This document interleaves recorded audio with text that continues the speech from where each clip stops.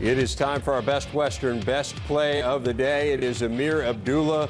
Last year we saw him bring a kickoff back for a touchdown against Fresno. This time it is a punt just weaving his way through Idaho State. Nebraska scores 73 points in the rout, 73 to 7 over the Bengals. It is time for Saturday's standouts to this point.